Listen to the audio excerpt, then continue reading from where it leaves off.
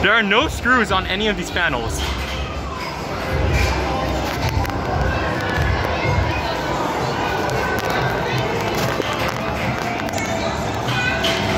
Legs are starting to hurt, not gonna lie.